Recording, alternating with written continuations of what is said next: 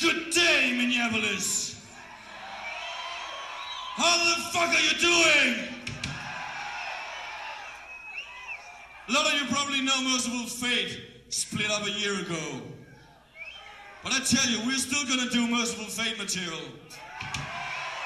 We've got one for you right now, taken from Don't Break the Oath. This one is entitled Come to the Sabbath! Come, come